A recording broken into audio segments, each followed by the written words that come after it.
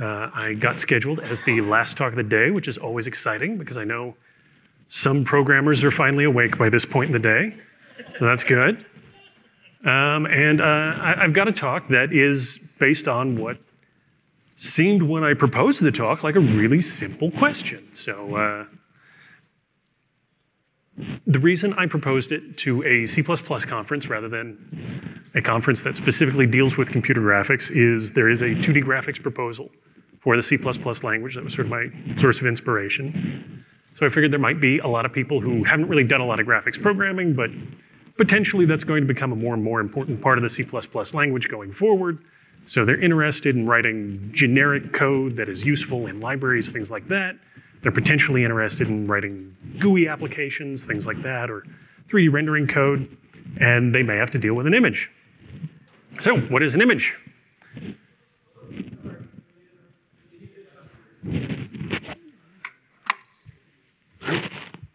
Better? All right. Hopefully, some of you heard some of that. My talk is not about audio, so.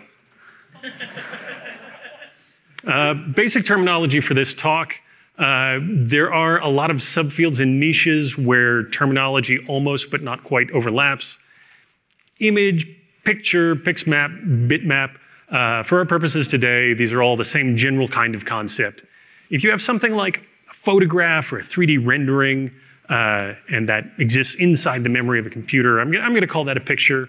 Uh, in some niches, like in X11, a bitmap specifically refers to a one-bit image. In Windows, it's fine to talk about a bitmap being a full color image.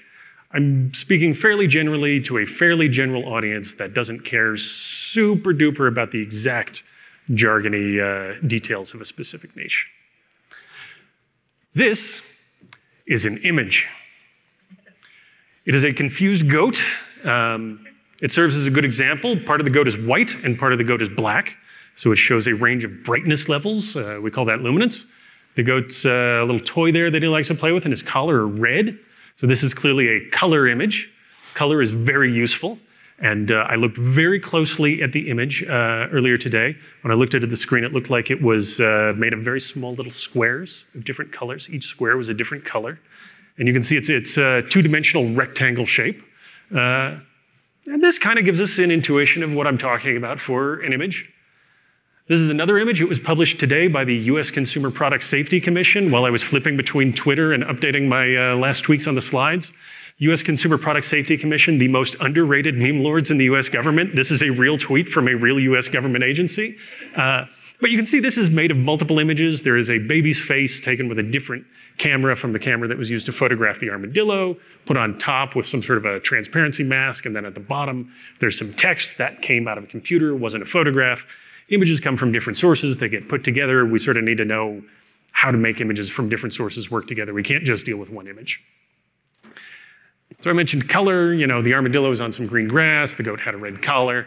Uh, most people see red, green, and blue as the basic primary colors. If you learned in art school that it is uh, yellow is one of the primary colors or something like that, that's paint, not light.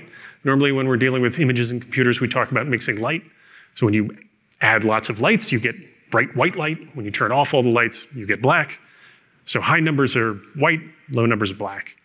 Uh, some people see differently. This talk is not about human perception. Actually, looking at the images we're going to talk about is a whole other complex field uh, to a surprising degree. And then at the bottom, you can see kind of a rainbow. You've, you've probably seen something like that before. So Let's start with a basic working definition of an image. It's a contiguous 2D array of little squares called pixels. Uh, we use red, green, and blue colors to describe it. Uh, so if we're using 8-bit values, we need three of those for each pixel, and it's in the memory of a computer. Pixels are accessed in order. Uh, this is a C++ talk, so we like to have pointers to areas in memory. If this was a Python talk, they'd be scared of that kind of thing. But we want to be able to work efficiently with an image, get direct access to the colors. We iterate through it in a fairly intuitive order. And then on the left, you can see kind of like if you've ever implemented a standard string, you have a pointer to your data, you allocate space for the data at runtime, and you need to know the size, and then you can run through it. And that's, you know, a good starting point. So Uh, now you know basically what an image is. Thank you for coming to my lightning talk. Genuinely, with that much information, you know how to deal with kind of 90% of the images that you're likely to deal with on a day to day basis. The other 10% is going to take a little longer to talk about, and we're going to dismantle some of the assumptions in that first definition. Uh, so, is it difficult to define what an image is? Surprisingly so. Like I said, there are different niches with different jargons. Uh, computers are pretty much all capable of dealing with images nowadays. If I was giving this talk in the late 70s or the early 80s, images on a computer would be a pretty obscure thing. Now, all of you have a phone, many of you have a laptop with you. Uh, so, there are more computers here that can process images than there are people in this room. Um, Game development has different concerns than visual effects for movies and television. GUI application development may care about different things from video playback. Uh, so it's very easy to talk at cross purposes when everybody's like, yeah, images, it's a, it's a simple idea, right? Um, and this slide is probably the most important takeaway more than any specific fact. Like, just if you're talking with somebody who works in a different niche than you, just like talk to them and make sure you're actually communicating about what you think you are. Uh, so, the scope of this talk. Retro computing is really interesting. Like I said, back in the 80s, computers were very constrained. Not all of them could really do images and stuff. Um, we tend to think in terms of algorithms and data structures. This is super not an algorithms talk. I'm not going to tell you what to do with the images. I'm just trying to describe the images. This is to an extent a data structures talk, but it is not that much of a data structures talk. It's more about what that data is uh, on disk formats like JPEG files or GIF files are really interesting, but I'm mostly talking about what happens once we load them into memory so that we want to actually process them. Um, though on disk formats have some implications about things we'll need to deal with. And uh, this is going to be kind of quick. I'm going to throw some mildly crazy ideas at you if you haven't really dealt with digital images and computer graphics before. Um, that's okay. Uh, I get some of this on your radar, so if you're doing kind of library code, you'll be somewhat aware of weird use cases your users might have, have so you're not so surprised when they wind up asking you for a feature. And you'll have some terminology and some jargon that you can look up later. And if you download the slides, the speaker's notes has like some links to papers and things. So don't be super shocked if there's something you haven't run into and you're just like, wait, what is an imaginary color? And I go to the next slide. Uh, so I said retro computing is out of scope, but I think it's useful to give a little context to explain why some of this stuff is out of scope. This is Atari Battlezone. Uh, it is an old arcade game, and you'll see the picture is composed entirely of lines. In an old arcade machine like this, there is no buffer in memory that contains this image. The machines in those days were too small. They did not have enough room for what we call a frame buffer in RAM. There is just a list of lines to draw, and the only image is the image on the CRT screen while you are playing. You cannot get a pointer to part of this image and modify it in memory.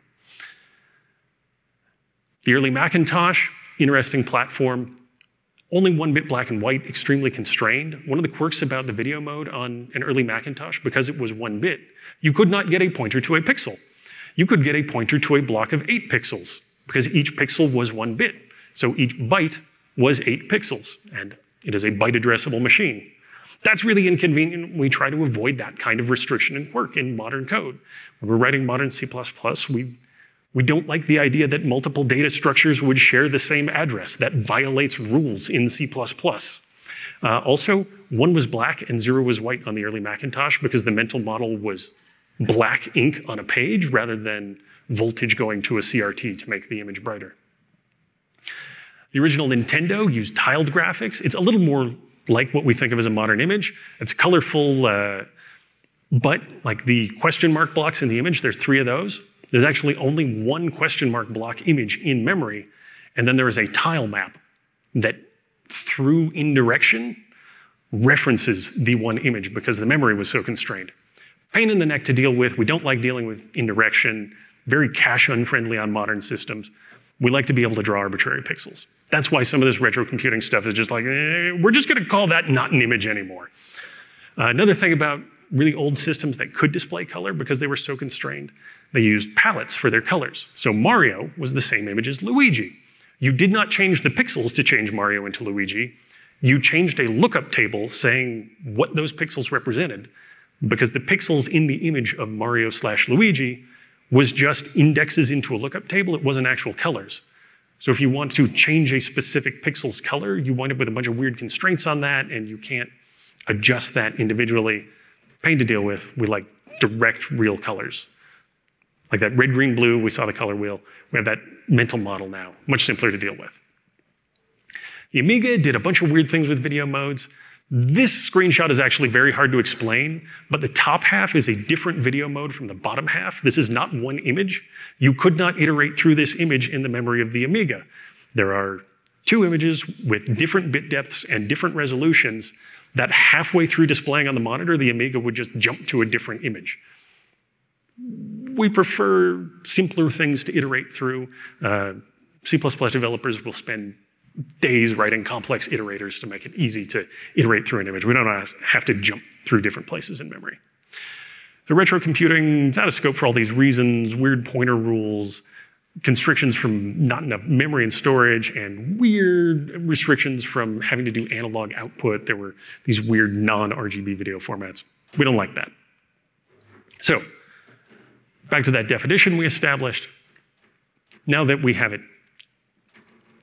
in contrast to kind of old school computer graphics, contiguous 2D array of little squares, not you know, indirected through lookup tables and palettes and simultaneous different video modes. 8-bit RGB colors, i.e. the pixel actually has a color in it that we can understand as green or red rather than just, this is color 37 and at runtime we'll decide if that's red or green.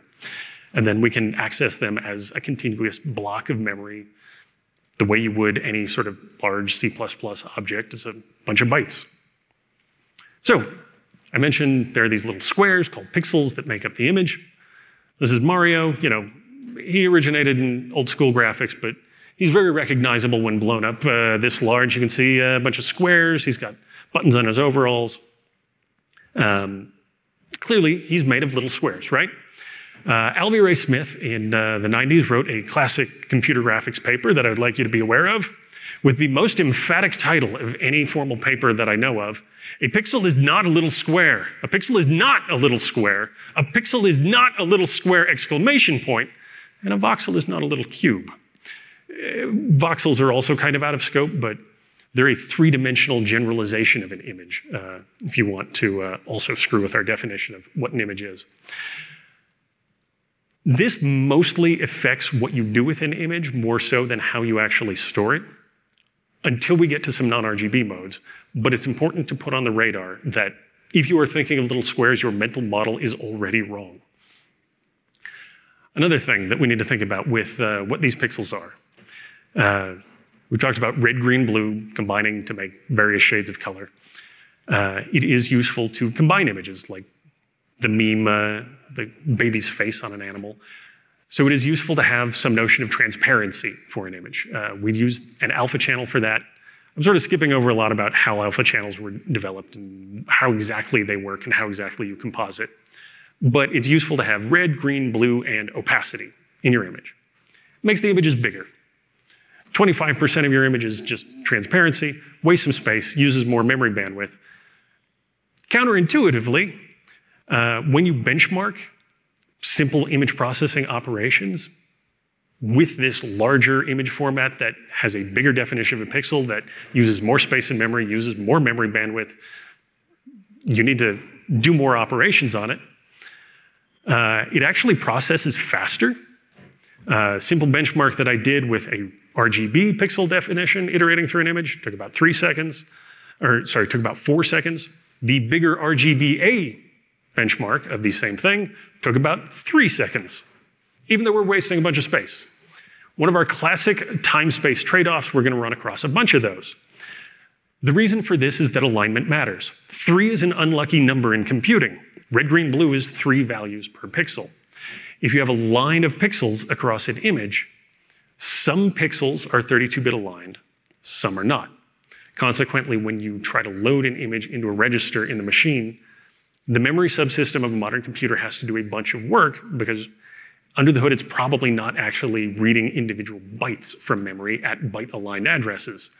It likes round numbers. When you are consistently reading 32-bit aligned values, uh, it's easier on the hardware, and if you get to the level of detail of writing vectorized code using vector intrinsics or hardware-specific vectorization, it's a lot easier to just make assumptions about alignment.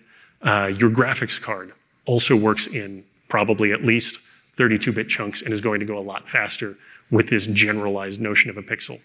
You'll still need to deal with RGB images sometimes if you're writing code, but you'll often want to expand into RGBA with 32-bit pixels instead of 24, even if you don't need the transparency. Uh, and then that's just zooming out on the benchmark for emphasis. Uh, so uh, there are lots of libraries and frameworks and things. Uh, one is called Qt. It's a, mainly a GUI library, but it does a bunch of other things. Uh, Qt has a QImage class. It's uh, kind of old school C++ by modern standards, but in the documentation, it mentions data must be 32-bit aligned. Each scan line of data in the image must also be 32-bit aligned. Qt tends to do things in scan lines, uh, and it's got pixel formats for uh, so you can define what kind of data you're loading into an image. Uh, OpenImageIO is another library that I really like. Uh, it's not super common outside of visual effects and post-production, but if you ever need a library that is kind of full fat, reads lots of different image formats, supports lots of weird corner cases and edge cases uh, in a very robust way, and has internal caching and things, it's a super cool library. Uh, it expects everything to be densely packed. It doesn't have this alignment requirement. What does that get us? Well, for that RGBA format, where we use four components per pixel, these two libraries are compatible for their image formats. In memory, they will generate and read and write these same sort of images. So you can have a pointer of the data of one library pointing to the data from another library and use operations and functions from one library on an image from another. Works great. In RGB mode, it doesn't. Sometimes because if the resolution of your image is at least a multiple of four in width, the size of a scan line is still going to stay on 32-bit multiples, even though a pixel is not a 32-bit multiple. So if you have a 64 by 64 pixel image, these two libraries have compatible memory formats for RGB. If you have a 65 by 65 pixel format, or 65 by 65 pixel image, that's no longer true. So if you have a really robust test suite of like, I tested a 64 pixel image, I tested a 128 pixel image, I tested a 256 pixel image, these are perfectly compatible. But your code accepts arbitrary images from users, uh, they'll do something you didn't expect and didn't know you needed to test. And if you are copying between these two libraries and they have different notions of how big the buffers used by the images are, and you are sending an image back to an end user, copying between these two image formats in the wrong direction will make one of these libraries think that an image is bigger than it actually is, and it will just keep reading off the end of the image. And you will wind up sending a user who is downloading an image from your image processing server arbitrary bytes from memory. Because every talk at CPPCon is a security talk. no matter how much you were hoping, I just want to look at a picture of a confused goat. Uh, it's C++, so you can send arbitrary uh, bytes of memory to end users if you're not careful, even if you think you have a fairly robust test suite. All right, so we've talked a little bit about like a pixel, but we've glossed over this notion of red, green, blue. Uh, if, if you've ever had like a six-year-old ask what sounds like a really easy question, this is one of them we're talking about a red, green, blue color model where people see that. What, what red, what green, and what blue? Uh, there's sort of a stereotype that if you go to college, your first year in college, your roommate will either get super high or take his very first philosophy class and be like, hey man, how do we know that we're all seeing like the same shade of red? And annoyingly, science dictates for like a whole bunch of reasons from different subfields. None of us are seeing the same shade of red. It's really annoying.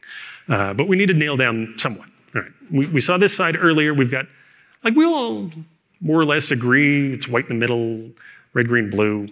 Possibly somebody here is colorblind, but they can probably still see at least two of the colors pretty well. Uh, the colors that they can see pretty well, they can make out and agree on.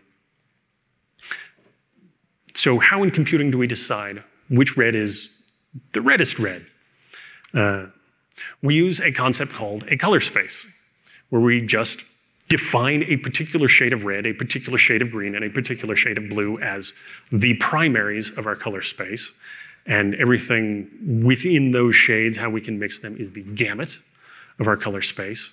And the other thing we have to define in order to define a color space, and there are a lot of definitions, but this will work for us, is if you have red, green, and blue, what happens if you add more red, green, and blue? Uh, which is probably a bad way to phrase that, but we'll get back to it. So, gamut and primaries. That weird horseshoe shape is the colors of the rainbow expressed in a fairly counterintuitive format. It's uh, called CIE XYZ color space. Scientists love it.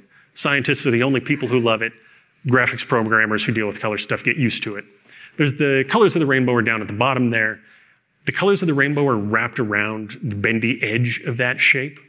Um, goes from red to blue along the outside. And you see a bunch of triangles there. Those are different, well defined color spaces. Some are bigger than others. Uh, the small ones are for things like CRT monitors. CRTs could not display particularly rich colors the way that they worked. The big triangles are for things like laser projectors.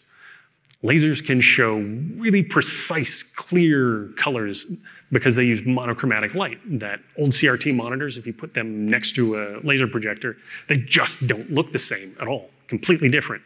Uh, if you don't show them next to each other, you might not notice, but they are very different uh, saturations. And when you look at an image on these two displays without compensating for that, they wind up looking completely different. You'll also notice that uh, at least one of those triangles completely exceeds the shape contained within the rainbow. You can mathematically define these color spaces in terms of kind of any three points, even if they're not real colors, because humans see in terms of three colors, and three colors or three points geometrically define a plane. And if you have any two planes, you can define some sort of mathematical relationship between them. Uh, and there is absolutely no formal rule for defining the boundaries of what counts as red and isn't allowable as red and where you go. Well, legally, that's orange. It just, there is no rule. If you were hoping for me to give you like a real clear definition of how you pick red, green, and blue when defining the primaries of a color space, oh well, colors in computers are completely arbitrary sometimes. Uh, so are brightnesses. Uh, if I have one apple and you have one apple, and I give you my apple, you have two apples. If you have 50% gray and I give you my 50% gray, you don't necessarily have 100% gray. There's a bunch of reasons for this. Uh, I mentioned a lot of the way colors work is defined in terms of how old CRT monitors worked. And if you increased the voltage in a CRT monitor, it would get brighter, but not in exactly linear relationship to the voltage. So we came up with ways to compensate for old CRT monitors that are kind of related to the way eyes work, where we expand the color space using a nonlinear relationship. Uh, this one at the bottom uses a curve called sRGB, where we use more of the space for dark colors because our eyes kind of notice banding between dark colors a little more easily than we do light colors. So it's not necessarily a great mathematical relationship, but with images, we just want them to look right. Uh, and we're not always willing to waste a bunch of extra bits in memory to do that. Uh, transfer functions can be arbitrary, just like the definition of the primaries for the color space. Going to have a linear relationship where adding twice as much of something results in a value that is twice as high. We can use logarithmic curves. Uh, that's very common in the film industry. We can use a gamma curve, which is an exponential. If you know, like big O notation for runtime, you're familiar with ex exponential curves and logarithmic curves. Same curves, just applied in a different context. And sRGB uses an arbitrary piecewise curve that is partially made of a linear segment and partially made of a nonlinear segment because it looks right on monitors in the 90s that we no longer use. But we still need to be backwards compatible with those images. So on modern monitors and projectors, we still use it uh, because as much as I try to put retro computing out of the scope of my talk, uh, we're stuck with backwards compatibility forever. Um, all right, Color space, also one of those things, gets very squishy to define in different subfields. Nuke is high-end compositing software used in the visual effects industry. If you use the color space node in Nuke to transform between two color spaces, it asks you for the white point, which is a photography concept. I'm not going to go in great depth to it, but if you photograph the same object on a bright sunny day where there's this blue sky, the light illuminating the object looks kind of bluish. If you're indoors and you're by like a tungsten light bulb, has kind of reddish light, and you photograph that same object, it's lit by kind of reddish light. It's the same object, but it's under different lighting conditions. So a white object will be a different color, even though we say it's a white object, depending on the lighting that you are looking at it. So you have to define whether a color is scene referred or display referred. Nuke takes into account display reference as part of its definition of color space. Some things only take into account scene reference, i.e., the object is white rather than the object appears reddish on this screen because we took a photograph of it under reddish light. Uh, OpenColorIO, really great open source library for color management, uh, does all sorts of transforms and conversions. You can define color spaces. It considers things like 8 bits, part of the definition of a color space in its config files. Vulkan, an API for doing GPU rendering, has a VK color space object, but the VK format enum also includes whether or not something is in the sRGB color space. So even within one API, there are different things that are kind of covering color space, but there's other pieces of data that cover the same thing. So it may cover whether it's a YUV or it's not an RGB image at all, whether it's 16 bits or 8 bits, whether it's floating point or integer. Uh, FFmpeg uh, has a library called libavutil. There's a colorspace.h header uh, as part of that. It is almost entirely concerned with converting uh, between RGB and non-RGB formats it does not care about this abstract concept of like, what is red in the abstract? Um, and this general definition I gave you uh, on the previous slide is just about gamut and transfer function. All of these definitions of color space are correct in different contexts, and you are going to wind up miscommunicating, and you are going to wind up driving yourself insane when you are Googling a very specific search term you're like, no, but I want to use this API's definition of color space in the context of figuring out how to use this other API I'm learning. Uh, and that will drive you insane. And that's just, that's a shame. I don't have a solution. There isn't one. Uh, so imaginary colors are a real thing. I mentioned you can define color spaces almost entirely arbitrary. Some are bigger than others. Some contain colors that others do not. Um, we treat a color mathematically as a vector, not a standard vector in C++ terms, a mathematical vector. Uh, and we transform colors using matrix multiplication. If you're not a math person, that'll be very boring. If you are a math person, you know that multiplying a vector by a matrix doesn't necessarily result in a number between 0 and 100%. You can get negative colors. You can get colors greater than 100%. Uh, sometimes this is really useful. Sometimes this has crazy results. Uh, if you try and put one image over a background, you expect the foreground to obscure the background. If you have negative numbers in some of these images, you can wind up with an image that has negative opacity, and putting it over a background makes the background more prominent, which is probably not what you want, but I don't know any of you. Maybe it is. Uh, if you're writing library code, you may need to put your images in floating point format in order to preserve negative numbers and things greater than 100%. Um, but you may also need a trim function to clamp things between in floating point between 0 and 1, uh, in 8-bit integer between 0 and 255. What is correct depends entirely on context, and you cannot dictate to users of your API. Uh, but you do wind up with like literal mathematical versions of it's redder than red, or so black it sucked all the light out of the room, or a reddish shade of green, which doesn't make any sense. Uh, and this is one of those slides I wish I had a ton more time to really expand on because it's an insane concept. Colors you can't see or even conceive of, but mathematically in code, we may need to preserve those for the sake of people using APIs we work on. Uh, so, talked about images. Uh, moving pictures are a thing. I'm being recorded for YouTube now. It would be weird to deny the existence of moving pictures. Uh, the simplest mental model is that one frame of a moving picture of a video file is just a picture, and there's no sort of crazy things we need to deal with in that context.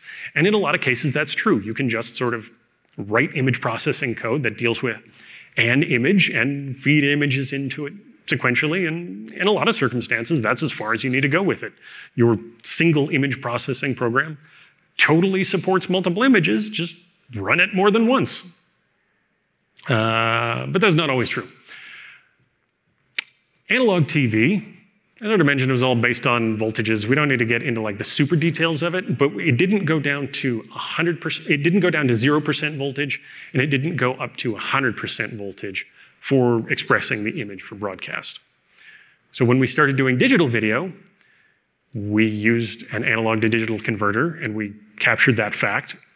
And video that is captured digitally using this sort of philosophy, black is defined as code point 16 and white is 235. 8-bit integers go from 0 to 255. There's just a bunch of slop space. Uh, this is kind of analogous if you are thinking in terms of strings. If you've ever had to clean 7-bit strings uh, for plain ASCII for sending email to really old servers or something, you just don't get to use the full range. And your images that you get that you need to work on may be full range, they may be video range, and some video was not captured in 10-bit. Uh, some stuff was done, or some, it is not necessarily all in 8-bit. 10-bit uh, and even 12-bit video processing was very common, um, still is. Uh, using embedded hardware devices that is specifically built to handle 10-bit video, that's fine. Using general purpose computers like we program in C++, you don't have a 10-bit data type. So you wind up having to expand to 16 bits in order to work on 10 or 12-bit video. That potentially winds up doing fiddly bitwise hacking to unpack things if they are densely packed and do not uh, exist across byte boundaries. Okay, this is going to be super annoying. We've been talking about RGB for all of our colors so far. But that's not the only way to store colors. Old TV was black and white, not black and white like an original Macintosh, shades of gray. Uh, your eyes are bad at seeing color. There's interesting biophysics reasons for that, uh, but you care more about how bright something is than what color it is. Uh, so in computers, uh, just like in your brain, we use less bandwidth for color. And we start with that brightness black and white image. And then we just sort of bolt on a little bit of color information to it. That was how they made color television. They were like, well, we, we can use a little more bandwidth on the spectrum as long as we don't use that much more for color. And we can kind of make it work for backwards compatibility with our signals because, like I said, backwards compatibility lasts forever. We're still talking about uh, decisions that were made in the 1950s to enable color television. Uh, so this is the UV plane. Because we are not expressing colors in terms of red, green, and blue, we're expressing them in terms of brightness and then like bluish greenness versus like reddish greenness. And we're just defining greenness as the lack of U or V on this graph. Green winds up being implicit because we've got three channels, but only two of them are color. So we just make one of the colors implicit it's fun. Uh, this is a specific image broken out. Uh, you can see in the top left, there is an image of nice cabin in the mountains, green grass. Bottom left, black and white picture. That one makes sense to you. Top right, color blue. And then bottom right, color red. And they're these sort of vague things. And the way we save disk space, memory, bandwidth during broadcast, bandwidth on a tape, whatever format this exists is, we store the things on the right side of the image at half resolution. And it's fine, you don't notice. Your eyes are dumb. Uh, it, it, works surprisingly well. Um, you can see, like, it's a very abstract thing. You, you mainly, when you look at this, you see the black and white image, and like, I can see what that is. Because of that, we have a notion of different planes of the image being different sizes. A color image only takes 150% of the storage space of a black and white image, which is cool. A red, green, blue format takes three times as much storage as just a black and white image. But this has huge implications on how you store and process data in memory. Um, there are many YUV formats. There are many ways to do this. This is not the only way, but this is what is called YUV 420 planar. Uh, the naming is obscure and kind of irrelevant. The point is, we started out with a simple mental model of an image structure class, one pointer to data, kind of like a vector or string in the C++ standard library. Now we have three pointers to data. One is a pointer to our luminance image, the brightness, the black and white one, and then we have two other pointers to the U plane and the V plane. Because they are not interleaved with the brightness, they exist sort of off in their own area of memory. They can be allocated completely separately. They can be allocated immediately after the brightness image, but they don't have to be. And we need some sort of functionality to keep track of, track of the fact that the width of those color images is smaller than the brightness image. And if the slide were bigger, there would also be a UV height function there. You get the gist. It would be divided by two. This goes back to that a pixel is not a little square concept. Because when we are sampling from two different sizes of images, one pixel is different sizes of little squares from these sampled planes. And when we are trying to figure out pointer arithmetic for going through this, we have to iterate the pointer looking at luminance uh, four times as fast as looking at the color planes. That complicates writing an iterator for this kind of a data structure a lot. Uh, and if we're going to do it really well, we should be interpolating colors instead of just picking one and treating it as a smooth, blurry color plane instead of a blocky one. Again, I managed to avoid having to talk about that by defining this as not an algorithms talk. So I'm not going to tell you how to interpolate colors. Just vaguely say that you should. And if you ever wind up needing to, uh, there's tons and tons of papers about arguing about which way is best to do it. So we have things called GPUs in modern computers. These are special purpose hardware. They are for processing graphics. Uh, this is actually surprising to some of you who may have only used them for mining Bitcoin, but that was their original purpose as graphics. Uh, and we, we use these GPUs using APIs that are specifically designed for graphics. They take away some of the flexibility by implementing things in hardware. So there should be less to think about because we just have to do whatever the GPU wants. Unfortunately, there are many different kinds of GPUs, and they want to do a lot of weird things there is an explosion of complexity when you wind up dealing with the GPU. Um, there are a zillion different pixel formats. You, when you're writing software, you can just kind of pick a pixel format and be like, I'm going to write my software to work like this. When you're dealing with a GPU, the GPU is going to have some subset of supported pixel formats, and you're going to have to store images in memory in a way that the GPU supports. And the two or three or four different models of GPU that you need to support may not all agree about which is best. Uh, they may have some mutually supported ones that overlap, but they may disagree about what is optimal. Also, we've had this idea of just running a pointer across scan lines of the image. You start at the top left, you go to the right, you go to the next row. That's not necessarily optimal depending on how you are using it. It is not necessarily cache friendly. If you are zoomed into an image where you can only see part of it, you don't want to have to iterate a pointer through space that is off screen, wasting memory bandwidth. You want to be cache coherent. You want to have locality of access. Those are all really valuable buzzwords when we're writing efficient code. And the pixel immediately below the pixel that you are currently accessing is fairly likely to be useful to you if you're writing a blur algorithm or sampling a texture or doing all sorts of things. Uh, the usage that you were actually doing uh, on a GPU. When you were doing 3D rendering, uh, there's textures, there's destinations that you render to, there's depth maps that you're storing sort of abstract data about the geometry of a scene and not just what color it is. Uh, and GPUs don't just necessarily have GPU memory. Uh, they have memory separate from the main CPU. There's actual physical RAM chips on the board that are separate from the RAM that your CPU talks to directly. But it may have multiple different banks of it, and you have to allocate in different places, and that doesn't match with like the C++ mental model of, I allocate memory with new, and I don't really care where it winds up. Uh, one of the interesting quirks of pixel formats on the GPU, 16-bit uh, half float. On CPUs, we have float, we have double. That's cool, but we don't have a 16-bit floating point format in C++ as part of the core language. Uh, on most desktop kinds of CPUs, this doesn't exist in hardware. It does exist in hardware as a data type on your GPU, and it is super useful because it takes up half as much space as 32-bit floats. And I mentioned earlier, there's a lot of circumstances where 0 to 255 doesn't cover everything you need to know about an image.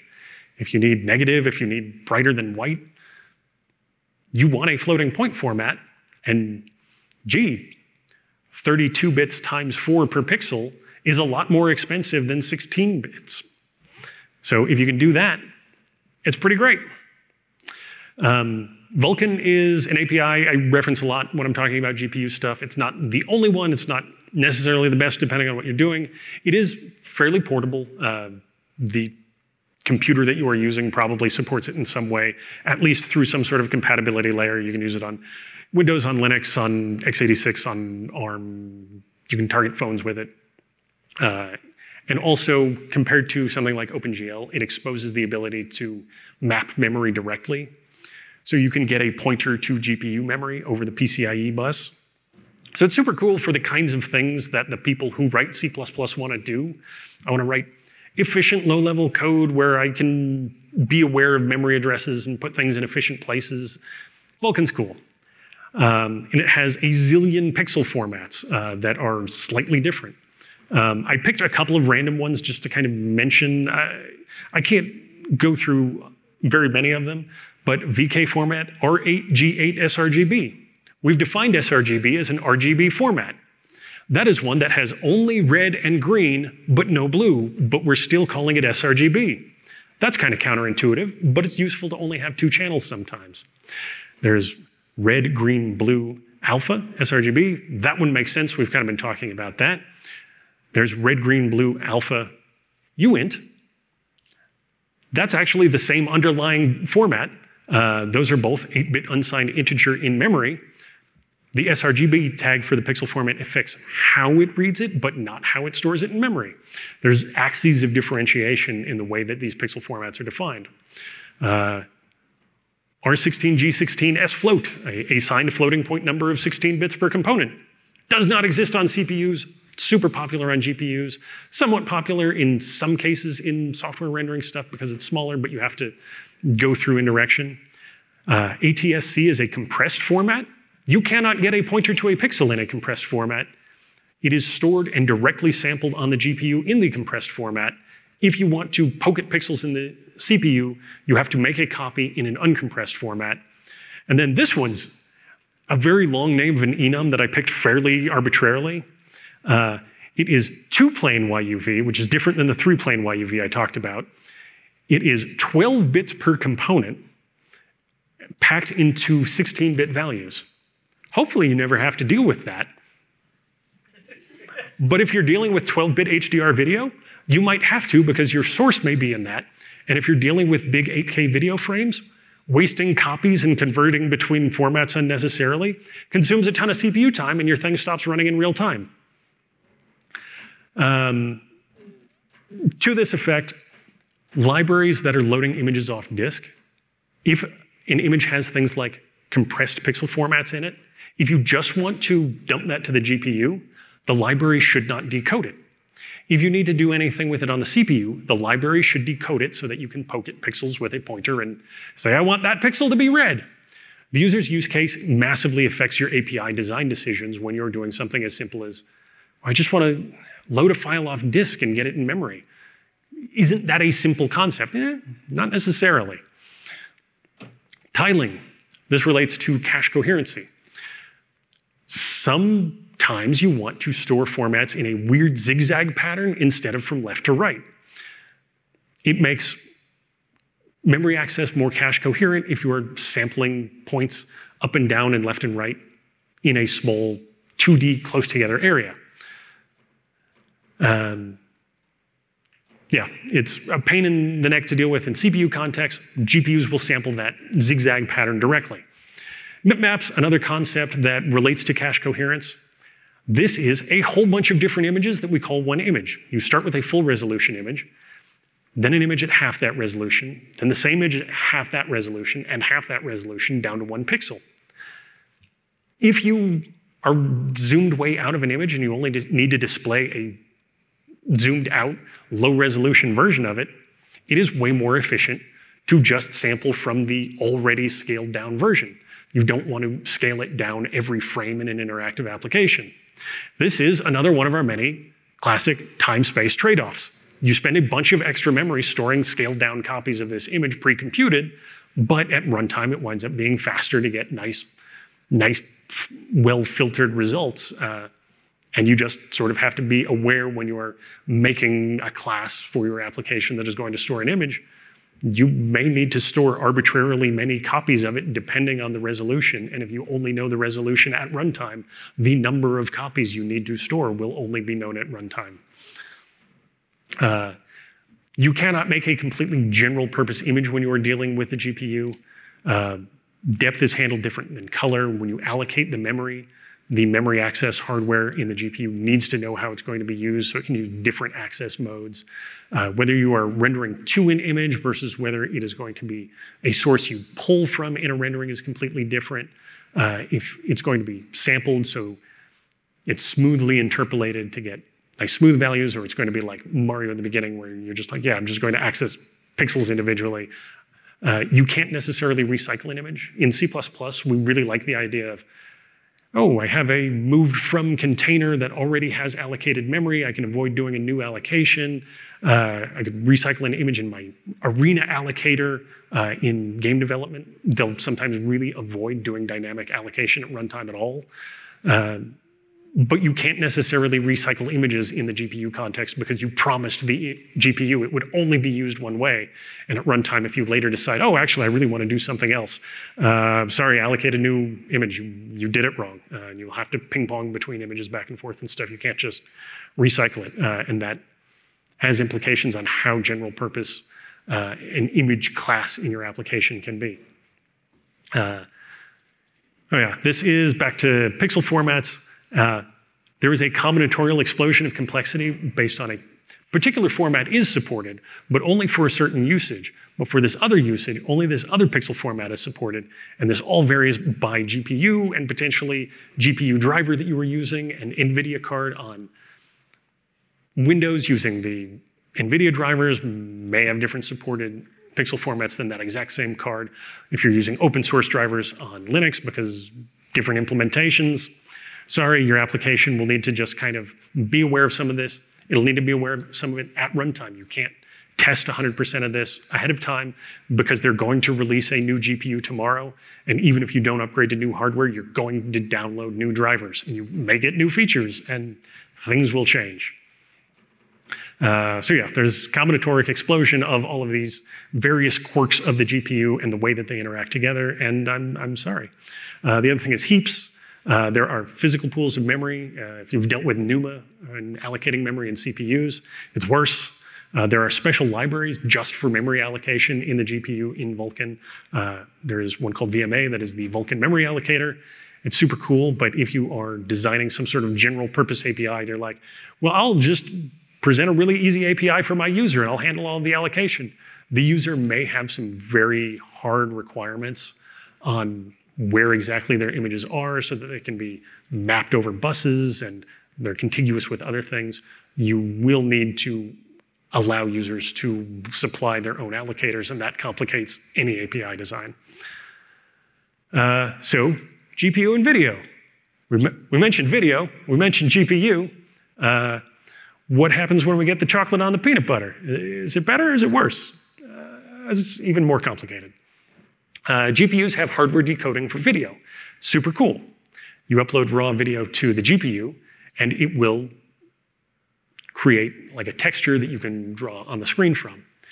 In a naive API where you're trying to make simple wrappers that are general purpose, you're going to make an API that reads a video file, spits out an image in CPU memory.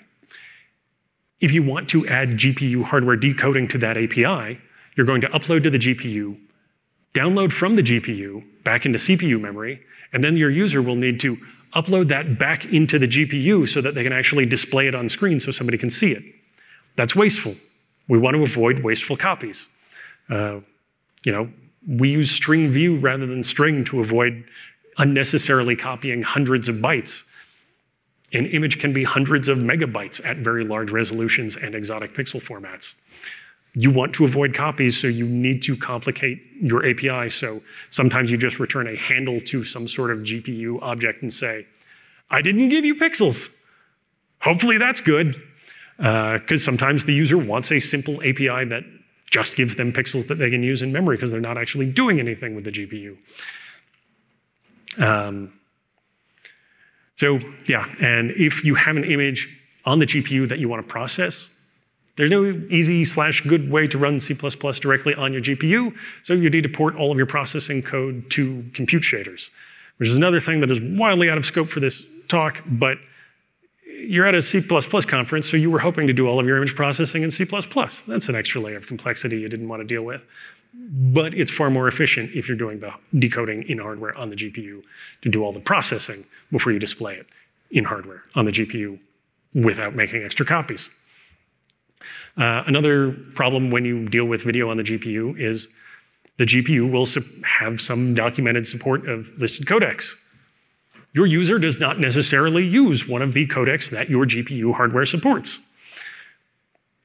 If they happen to you know, only use codecs that uh, you can support on GPUs today, they will need a new video format next week and you will be scrambling to do it.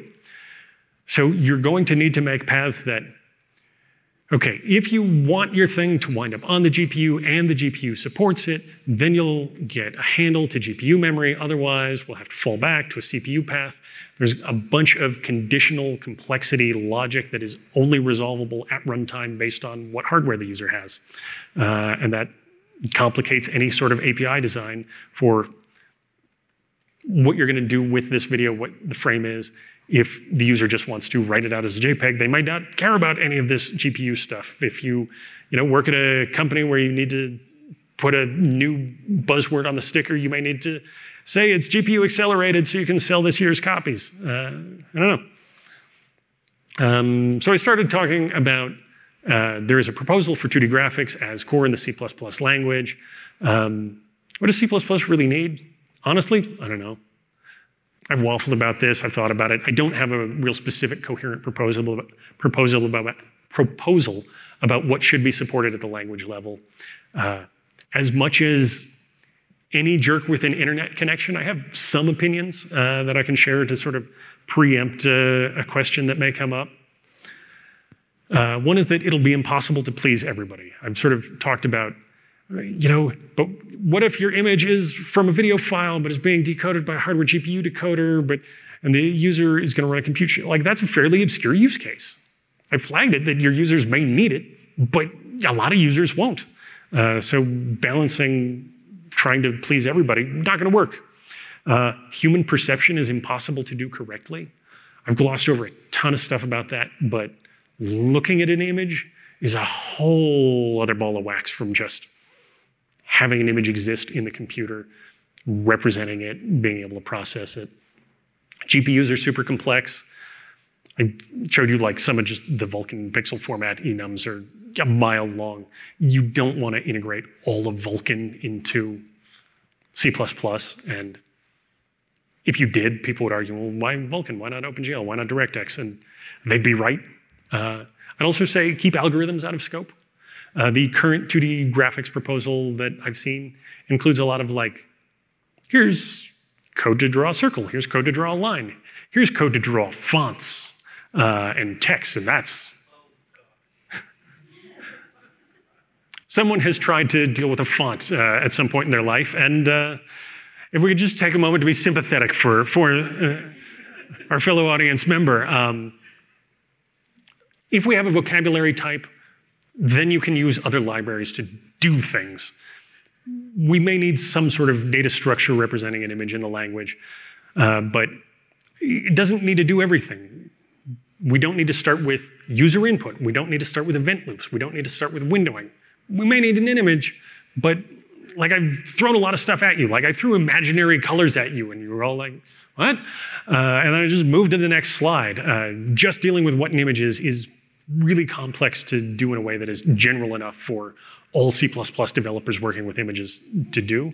So eh, leave a bunch of stuff out of scope if we're going to add anything to the language. What should we do? I like string view as a mental model.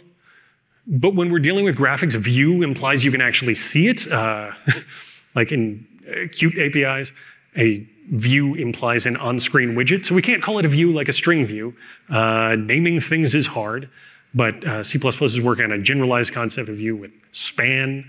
Uh, we also have weak pointers, so like a non-owning image where if I read an image from the disk with one library, I can generate a weak span of pixels that is non-owning. And then I can use that in any other library that does support the C++ standard data type but it doesn't need to be responsible for some of the weird allocation stuff if I'm doing something stupid with a GPU or if it has come from some other library that does its own allocation. Um, I think a vocabulary, vocabulary type would be useful glue between all these weird libraries that have different definitions of things. YUV planar formats are a real pain to support, but maybe don't support them explicitly, like just kind of punt and support one plane in the standard image type and just say, and just make a vector of images and they'll sort of be their own thing. Uh, and one thing I think would be super duper cool to add to the C++ core language is a 16-bit half float data type. Uh, compiler people would hate that because CPU hardware doesn't support it, but there are a ton of circumstances writing image processing code where that is a really, really useful format to have. And uh, being able to effectively double the amount of memory you've got is a valid time-space trade-off uh, in terms of the complexity of unpacking the 16-bit float into a 32-bit register and vice versa.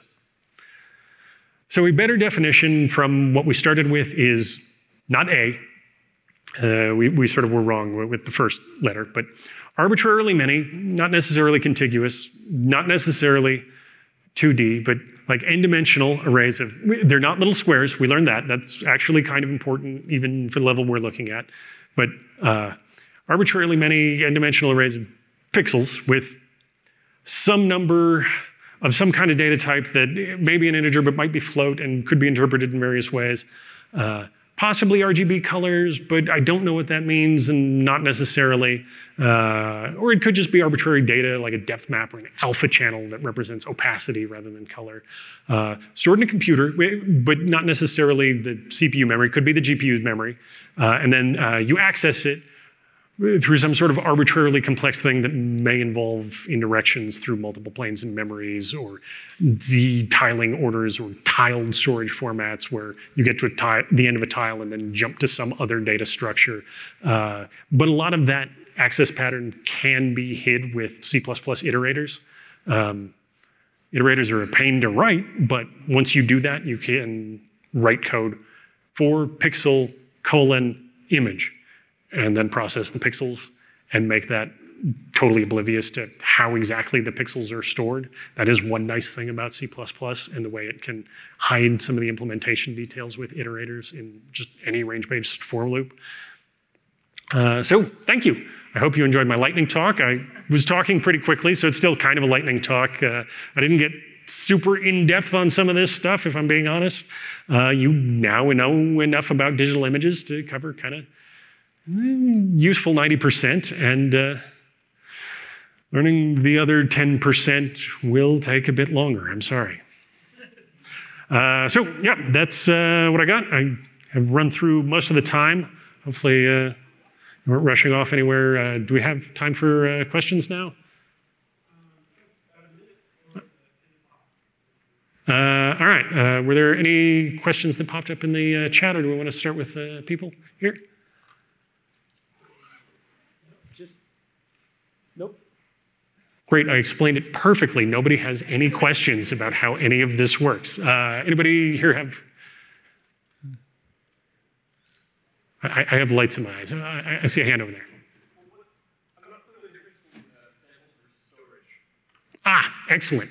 Um, when you are doing 3D rendering in a game, uh, the texture maps are sampled. There is a piece of hardware in the GPU called a sampler that smoothly interpolates the image in memory. Uh, if you remember the way really old PlayStation 1 games looked versus Nintendo 64 games, Nintendo 64 games had like a really smooth look for their textures, even though they were low resolution. And PlayStation 1 games were very blocky, chunky, pixelated kind of look for their textures.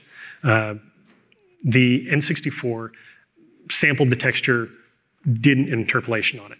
Storage, if you were running arbitrary code on your GPU, you're not using it as a texture. You're not necessarily using it as an image. You're using it as some big buffer, maybe integer, maybe floating point. You're possibly using it as an image, and you want to write to it in arbitrary ways. That's a storage image. You're treating it basically the way you would treat a arbitrary buffer in CPU memory without any of this specialized access where we're interpolating values. Uh, does that help? Cool. Uh, all right. I've still got kind of lights in my eyes. So if, if you are trying to raise your hand, One raise question. Uh, Boost GIL, it looked quite promising. Any opinion on it? Uh, GIL, I have not worked with seriously. Uh, it's very templatey from what I remember. Um, the projects I've worked on haven't already had it as a dependency, so I haven't been forced to learn it, and I can't comment on it in great depth. Templating some of this stuff, super valuable. Um, but like I said, some things dealing with really generic image stuff, you kind of have to discover at runtime when you're dealing with kind of compressed image formats that you can't access pixels out of directly. So I'm sure it solves some super cool problems that its users find great. Uh, I just, there's a ton of libraries out there, so I don't have a lot of useful uh, commentary on it.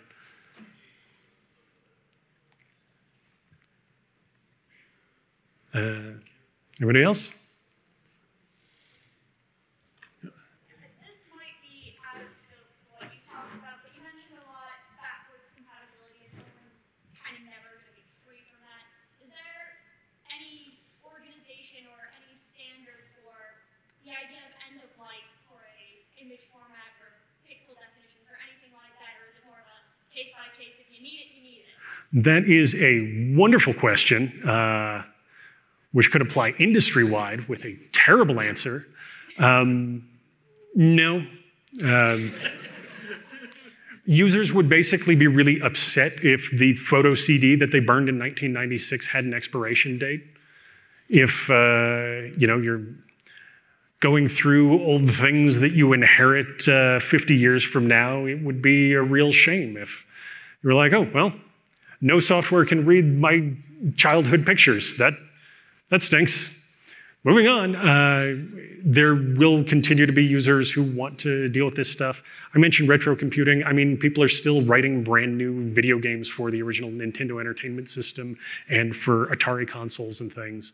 Uh, we still build our railroad gauges. There's some possibly apocryphal meme um, based on sort of how wide ranks of Roman soldiers rode uh, in, during the Roman Empire backwards compatibility is unfortunately a constraint that will exist forever, uh, unless you can arrange a more thorough apocalypse than the ones we've had so far. Which, let me know.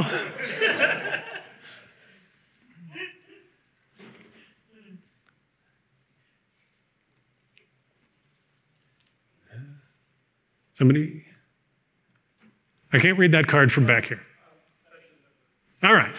Uh, the man with the card has said the session is over. Thank you very much. Uh,